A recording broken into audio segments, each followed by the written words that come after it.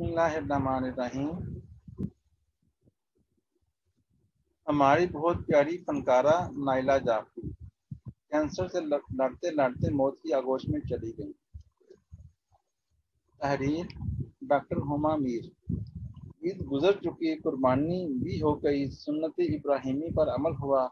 धुएँ, पकवान, दोस्त अहबाब से मिलना जुलना भी रहा। मगर इन सब मुसबतों के साथ साथ कोविड की चौथी लहर के फैलने का खौफ और तफरी गाहों का आम आदमी के लिए बंद होना जगह जगह गंदगी और गलाजत के ढेर, सफ़ाई का फुकरान और मौसमी कसाइयों के हाथ कुर्बानी के जानवर का सत्यानाश लगने ने तबीयत मुख्तर कर दी।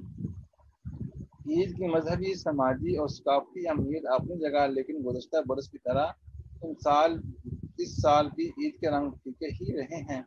इसके अलावा लोगों के बिछड़ने का काम कोरोना के बायस होने वाली अचानक अमवात बड़ी बड़ी नामवर,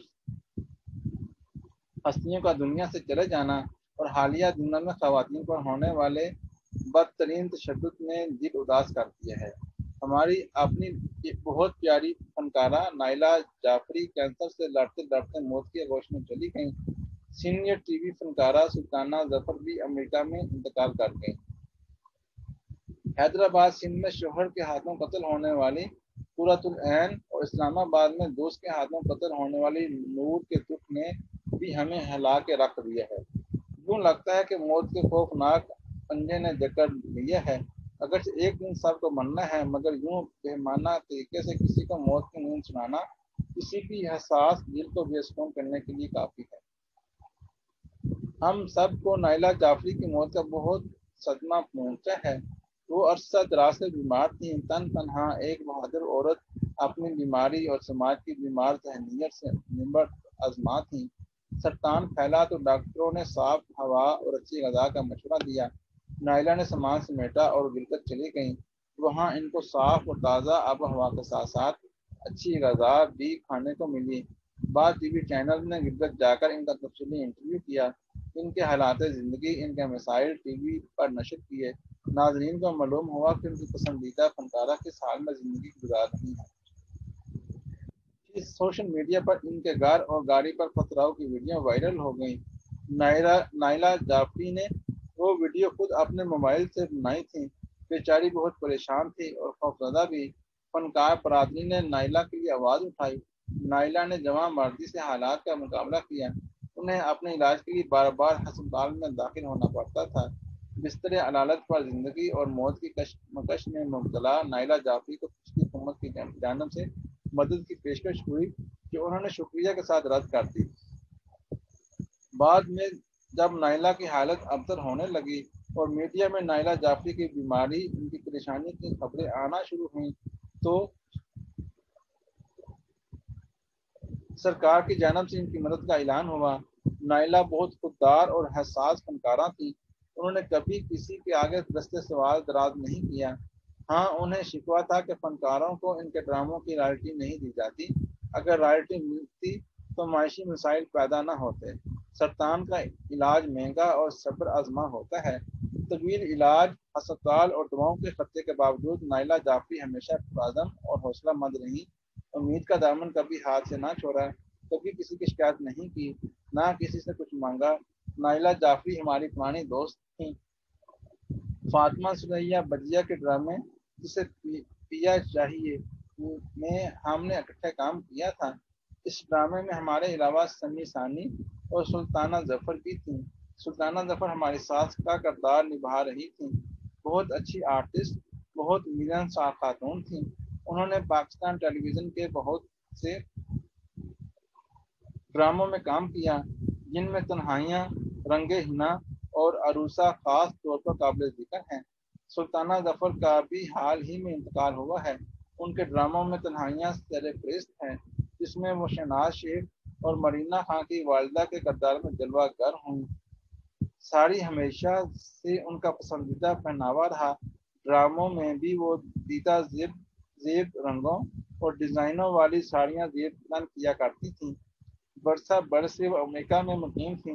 बताया जाता है कि डिलास में वो एक बुटीक चला रही थी। अमेरिका अपने बच्चों के पास अरसा कबल मुंतकिल हो चुकी थी और शो बिज़नेस से दूर थी। सुल्ताना ज़फ़र के शरीक हयात ज़फ़र भी ड्रामों में शौकिया अदाकारी किया करते थे। उन्होंने ज़्यादातर शहजाद खलील के ड्रामों में काम किया। पाकिस्तान टेलीविज़न पर निशान हैदर के नाम से चलने वाले ड्रामों के अजीम शान सिलसिले जिसमें अफवाज पाकिस्तान की वतन वतन अज़ीज़ के लिए कुर्बानियों और खदमात को उजागर किया गया था और जिसमें निशान हैदर पाने वाले बहादुर और अजीम शहदा को खराज अकीदत पेश किया गया था। इसमें उन्होंने उमदा काम किया। ज़फ़र साहब ने पायलट ऑफिसर राशिद मिनहास, निशान हैदर में राशिद मिनहास के वालिद का करदार बखूबी निभाया। इस ड्रामे में नैयर कमाल हुमा अकबर, यासमीन इस्माइल और मरीना खान ने भी काम किया था। याद रहे कि यह मरीना खान का पहला ड्रामा था। ज़फ़र साहब के दीगर ड्रामों में तन्हाइयाँ भी काबिल ज़िक्र है। तन्हाइयाँ में उन्होंने अकबर एडवोकेट का करतार अदा किया था।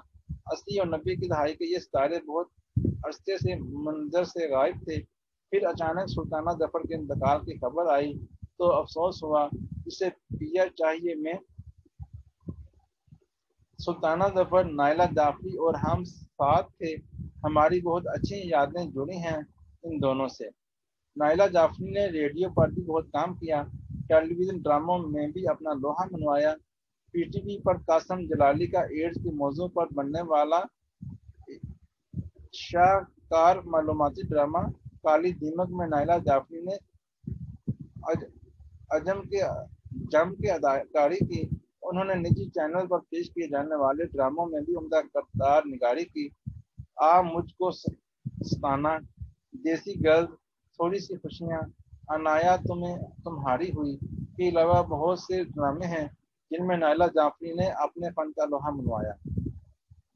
नायला जाफरी का हमारा सात आठ कौंसिल में भी रहा। उन्होंने इलेक्शन में हिस्सा लिया और आर्ट्स काउंसिल में फाल रही। हमने नायला को हमेशा मुस्कुराते हुए, धीमे लीजे में बात करते देखा, कई साल कबल हम सब सैयद कमाल का एक्टिंग चैलेंज कर रहे थे। इसमें हमारे साथ गालिब कमाल कंपेयर जबकि नायला जाफरी इन नौजवान लड़के, लड़कियों के एडिशन किया करते थे, जो एक्टिंग चैलेंज में हिस्सा लेना चाहते थे। नायला जाफरी आज हम में नहीं सरतान का मोजी मर्ज इस प्यारी सी लड़की की जान ले गया। हाँ नाइला, तुम्हारी बहुत याद आएगी। अल्लाह दर्जात बुलंद करें और तुम्हें जन्नत फरदोस में जगह दे। आमीन।